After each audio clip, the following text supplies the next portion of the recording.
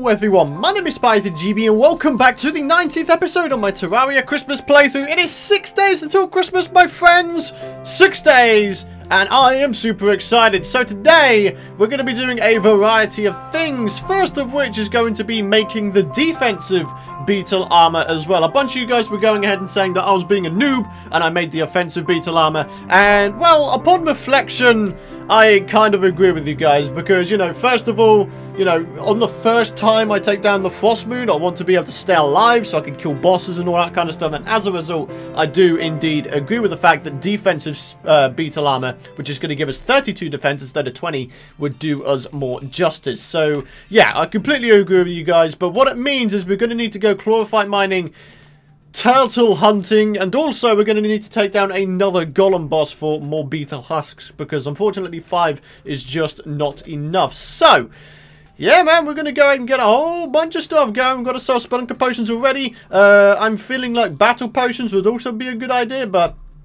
don't have any there, so maybe we head down here and make ourselves some.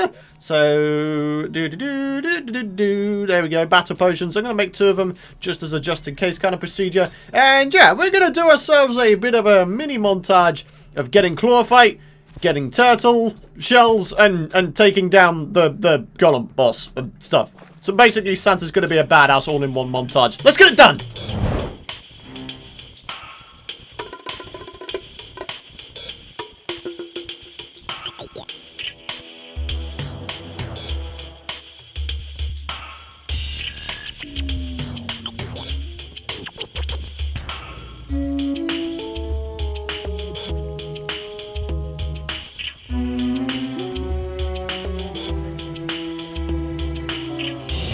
Alrighty guys, so we have ourselves over half a stack of chlorophyte ore, 626 chlorophyte ore. We've got ourselves two little power cells now, because obviously I managed to farm one out. Three life fruits, let's get ourselves up to 420 health. Got a turtle shell as well, which means, ladies and gentlemen, the time has finally come to defeat Golem a couple of times. And as a result, we should get ourselves enough beetle husks to be able to complete our beetle armor set. And the reason why I've got so much chlorophyte is kind of a kill two birds with one stone kind of deal, in that uh, all we'll need to farm out from now on is going to be the ectoplasm. We shouldn't need to mine any more chlorophyte ore for the entirety of the series now, because I believe we have more than enough to make ourselves spectre armor uh, once we get to that point. So, yeah. But in the meantime, my friends, we have ourselves some golem fights to go ahead and uh, and do. This is probably like the third episode in a row when we're doing this. So, yeah. I think what I'll do is I'll skip to the end of each fight, and we'll see what we get. Alright, and here's the first golem about to go down. Boom! Get out of here, buddy. What have we got? It is a possessed hatchet not exactly useful to our cause. I mean, we're probably going to sell that straight off the rip. So, yeah. I'm going to wait until my potion sickness uh, wears off, and then we're going to do ourselves the second golem fight. Oh, this is a close one! And get destroyed! Alright, what's it going to be? A golem fist? Dang it, man! Well, unfortunately, ladies and gentlemen, there is no sign of a Picksaw, and that was the last lizard power cell that I am going to be using to, obviously, fight Golem. So, yeah, unfortunately, we didn't manage to get the stuff that we were looking for, in other words, the Picksaw, but uh, we did still manage to get the beetle husks, and everything is pretty much good. So, yeah, let's head back to base, my friends. Alright, so here we are back at base, my friends. Let's go ahead and start off by talking to Santa Claus, who apparently is down here now, because I think he might have died in the previous episode, which kind of sucks. But, uh, yeah, ladies and gentlemen, I think the time has now come for us to get the defensive beetle armor good. So here we go. Let's head up here real quick. Let's get ourselves as many chlorophyte bars as we can make. Wow, more than a full stack. That is incredible. Alright, let's head over here real quick. Let's get ourselves another turtle scale mail built. And then, of course, we'll get the defensive beetle armor right there. There it is. Beetle shell, 32 defense as opposed to 20. So now we are going to have ourselves a whopping 79 defense, which is very nice indeed. Very, very nice indeed. Holy crap. Alright, so, we have ourselves the Frost Moon to take down, but we're going to do that on the next night because, ladies and gentlemen, I want to go ahead and make a bit of an arena which will involve the use of these two things, a honey bucket, lava bucket, and, uh, yeah. It's it's going to be a good one. It's going to be a good one. Wait, somewhere about, I do believe I have some uh, some traps as well. If not in here, then in the piggy bank. Uh, hello, good sir. Let's put you down. There we go. Super dart traps. I'm going to try and utilize some traps and other stuff like that in this first attempt at the Frost Moon. So, I think what we're going to do is uh, go to the mechanic. Do we have a mechanic?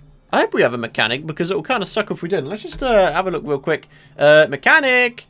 Do we? Oh, there she is. Huh, she's, she's in our main base. The very first base that we built. Okay, so, here we go. Let's get ourselves a wrench real quick. Uh, I think we're going to need a little bit more in the way of lava buckets than just two. I think I might need like four of them. So if I go and make myself a couple more buckets and head down to lava level, grab myself some more lava. And uh, yeah, I think we'll be good to go from there on in. So let me go ahead, head down, get some lava, and we'll start on our trap.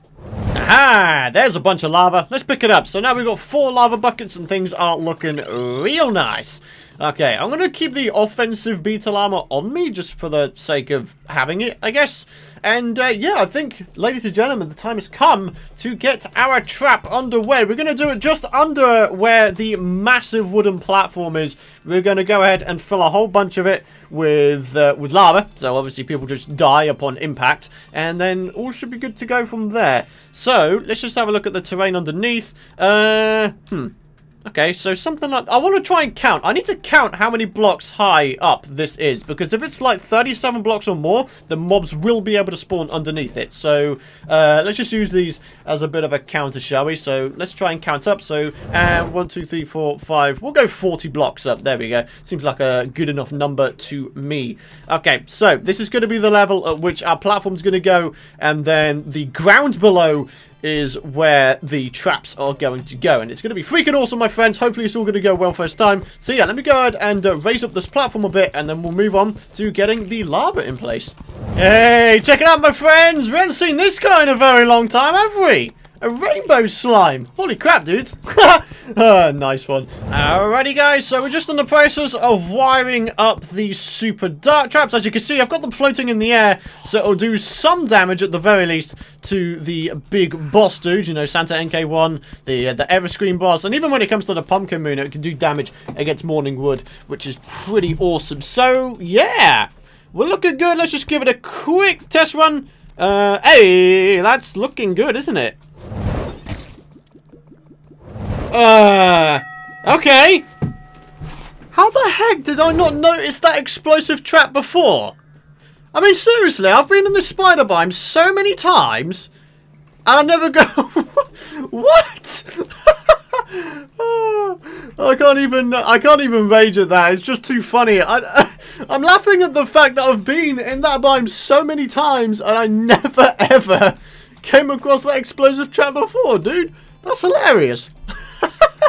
uh. Alright guys, so we are now back in action and I'm happy to say that the arena is pretty much there. I'm really happy with it to the fact where I actually added in a couple more traps. These little grey things here, these are geysers that you get underground at the lava layer. I've got the honey pool done, I've got my crystal ball, my piggy bank and of course the safe up there. Super dart traps and lava is spanning for a long, long way. Now I'm just in the process of combining a bunch of accessories just to see what kind of things we could do. So here we go, we have ourselves a destroyer emblem which is 10% increased damage and 8% increased crit chance, or we've got increased melee knockback and 12% increased damage and melee speed. Ooh. I rather like this. Mm. We've got increased damage or we've got increased crit chance. The increased crit chance will give us a chance of doing even more damage. So, I don't know, man. I think that maybe the Destroyer emblem could be a cool idea. Yeah. I mean, we've got this at the very least, which is really kind of nice. Uh, that's got melee knockback and melee speed. Destroy emblem, that's going to be real nice. I might go and reforge this with, uh, with the Tinkerer real quick. Menacing, warding. God damn, that's pretty damn nice, my friends. Menacing would be, you know we'll go over angry. I imagine this thing's going to come in useful in the later waves when Ice Queen comes along and she starts poning my butt. Now, before going ahead and doing anything, let's go ahead and spam open these presents real quick. Quickly, because we're running out of time.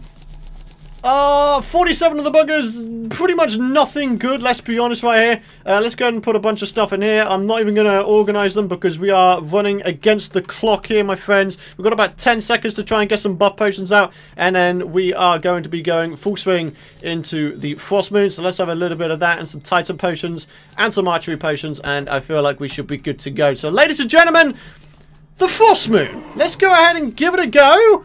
Obviously, we, this is our very, very first time actually trying this out, so hopefully it goes well. So we are now heading over to our arena. Uh, let's obviously try and do some damage as we go along. Obviously, that's going to be real nice. Oh, mate, this is going to be quite rough, it has to be said. I mean, I'm not actually doing that great amount of damage against these guys, which is kind of concerning for the later waves. But, you know, if we can get some cool weapons, then I'm going to be good to go. So, Christmas Tree Sword is something we can get. Oh, there's a present mimic there. I might go ahead and take him down real quick. Alright. Come on, Peep. Come on. And there we go. There's another wave inbound. And let's get ourselves those hearts right there. And let's get ourselves down to the arena, my friends. Here we go, my friends. Let's get it going. It's already on, which is awesome. And yeah, here we go.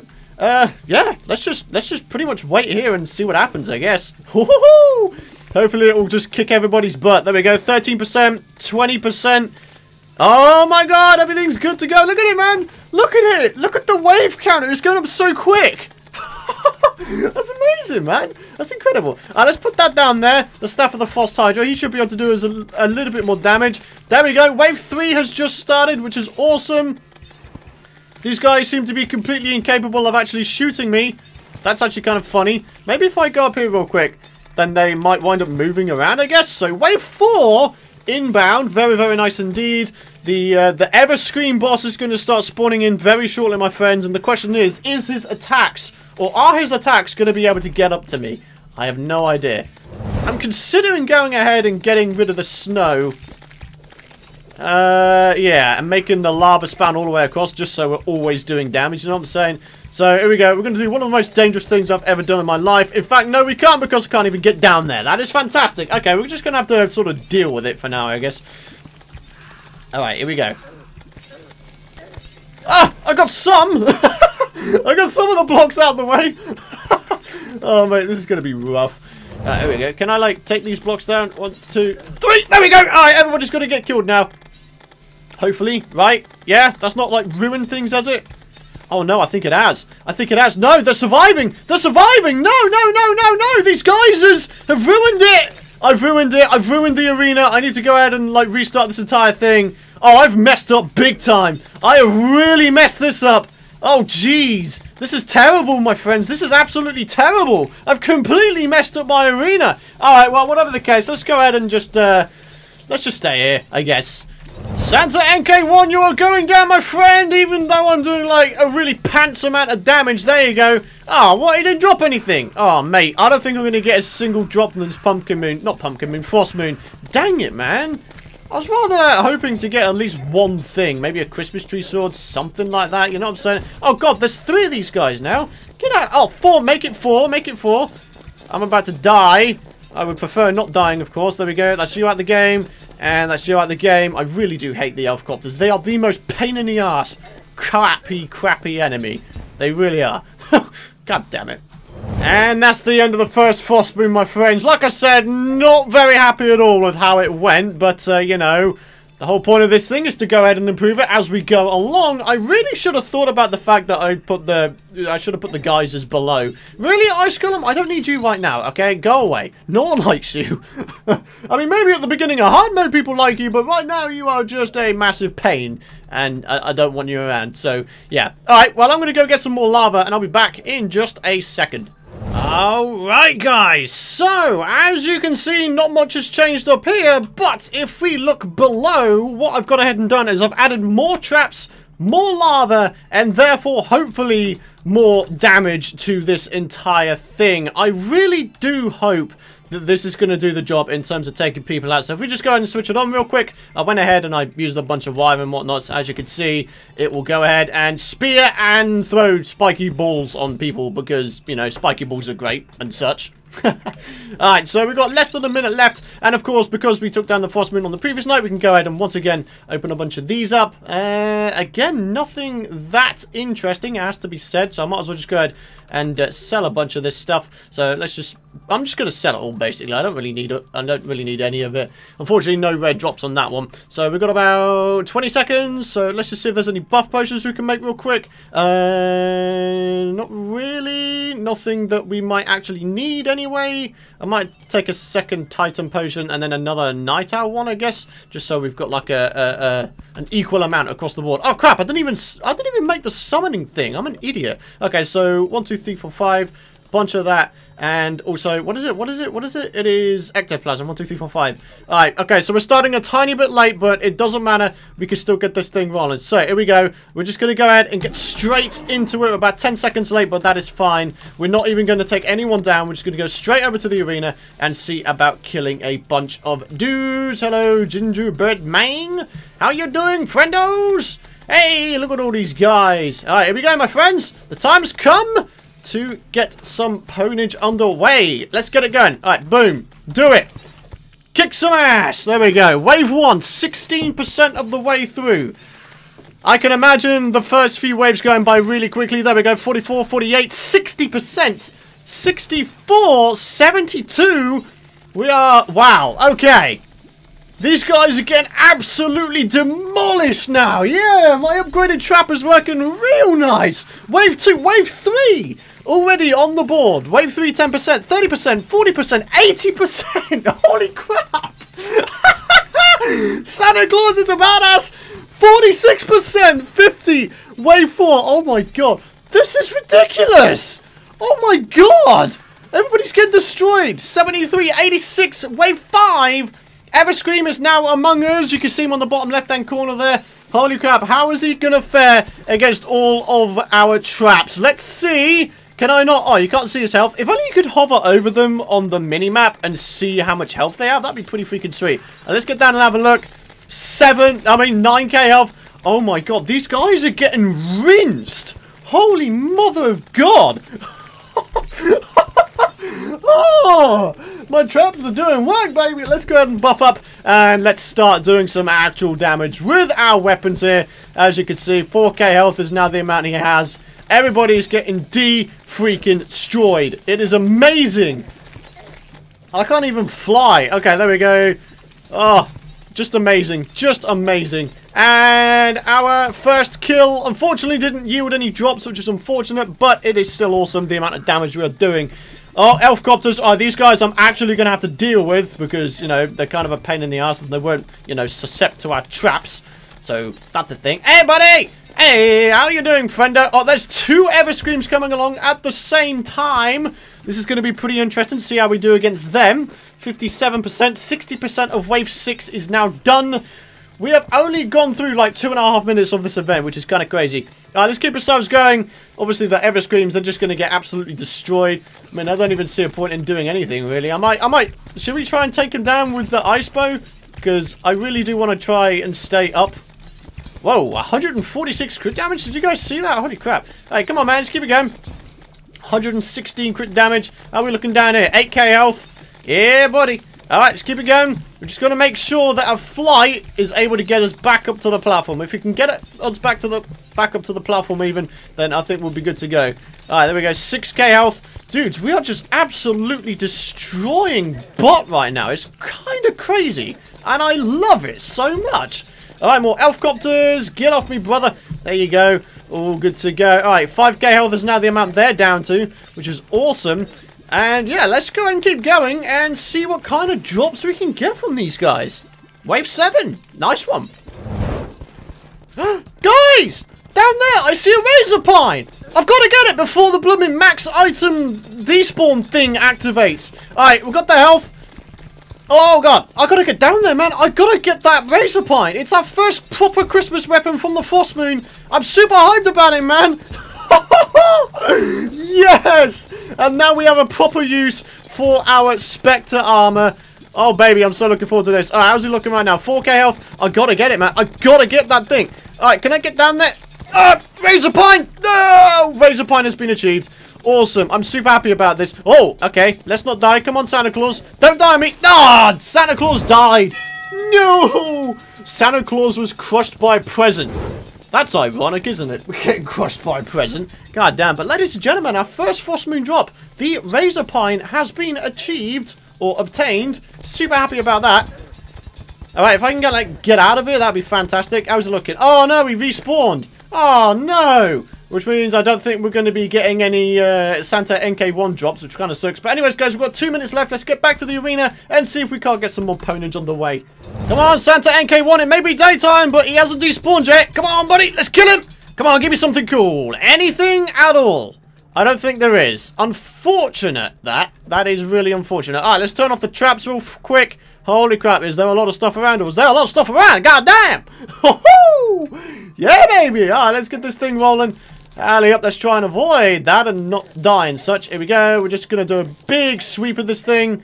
There we go. Alright, did we get anything decent? We've got the Razor Pine. That's decent enough, my friends. And, of course, 19 presents. We're going to go and open them at the start of the next episode. But on that note, it's going to be time to end this episode. I want to thank you guys for watching. It's been a long one for me. Nearly a two-hour recording for one episode. That's quite rough for a daily series. Good lord above.